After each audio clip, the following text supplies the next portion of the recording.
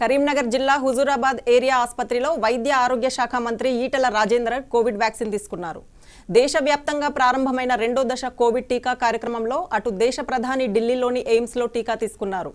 రాష్ట్రంలోని ప్రభుత్వ ఆసుపత్రులతో పాటు ప్రైవేట్ ఆసుపత్రుల్లో కూడా వ్యాక్సిన్ను అందుబాటులో ఉంచారు. ప్రభుత్వ ఆసుపత్రుల్లో ఉచితంగా వ్యాక్సిన్ అందుబాటులో ఉండగా ప్రైవేట్ ఆసుపత్రుల్లో మాత్రం ఈ వ్యాక్సిన్కు రెండు వందల యాభై రూపాయలు రుసుముగా చెల్లించి వ్యాక్సిన్ తీసుకోవాలని కేంద్రం మార్గదర్శకాలు జారీ చేసింది.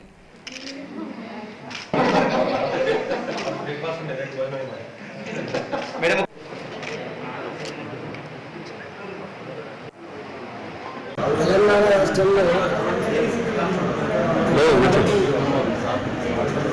గవర్నమెంట్ కానీ ప్రైవేట్ హాస్పిటల్ పనిచేస్తుంది డాక్టర్లకి అందులో పనిచేసిన ఇతర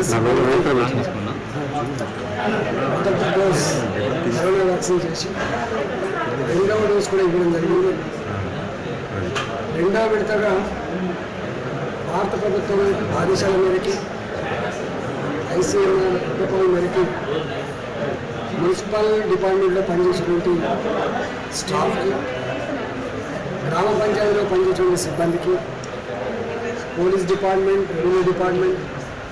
security పర్సనల్స్కి రెండవ విడతగా వ్యాక్సిన్ ఇవ్వడం జరిగింది మార్చి ఒకటో తారీఖు నాడు ఇవాళ భారత ప్రభుత్వ ఆదేశాల మేరకు ఇక్కడ అరవై సంవత్సరాల పైబడి ఎవరైతే ఉన్నారో వాళ్ళకి నలభై ఐదు సంవత్సరాల పైబడి వయసు కలిగి కోమార్బిడ్ కండిషన్స్ షుగర్ పేషెంట్స్ కావచ్చు కిడ్నీ డయాలసిస్ పేషెంట్స్ కావచ్చు హార్ట్ పేషెంట్స్ కావచ్చు లివర్ పేషెంట్స్ కావచ్చు బీపీ పేషెంట్స్ కావచ్చు అట్లాంటి వాళ్ళందరికీ కూడా వ్యాక్సిన్ ఇవ్వాలని చెప్పి చెప్పినప్పుడు ఈరోజు ఈరోజు ప్రభుత్వపరమైనటువంటి కొన్ని హాస్పిటల్లో గవర్నమెంట్ ప్రైవేట్ హాస్పిటల్లో వ్యాక్సిన్ స్టార్ట్